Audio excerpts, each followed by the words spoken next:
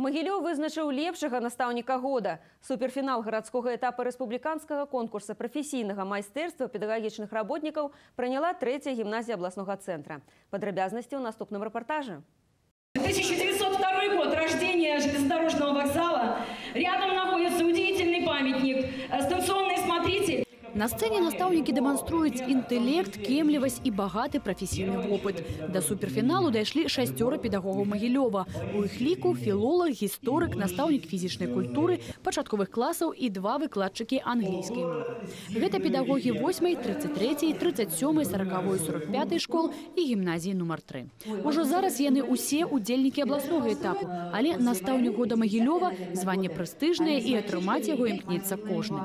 Самы складаны конкурс быў праведзены напярэдадні. Настаўнікам трэба было правесці урок у незнаёмым класе. На падрыхтоўку да яго б адводзілася толькі паўдня. Ну, это оценка прежде всего педмастерства, потому что учитель должен уметь многое, в том числе ориентироваться в незнакомой ситуации. Это достаточно сложно было, но интересно. Проверяешь свои силы, свои знания, свои умения. Вот поэтому набираешься опыта. Вопыт і поспех на гэты раз больш усяго дапамаглі настаўніцы англійскай мовы трэцяй гімназіі. Па рашэнні журы перамогу атрымала Ольга Каплан. Алесь Рыбалка, Александр Тарасаў, навіны.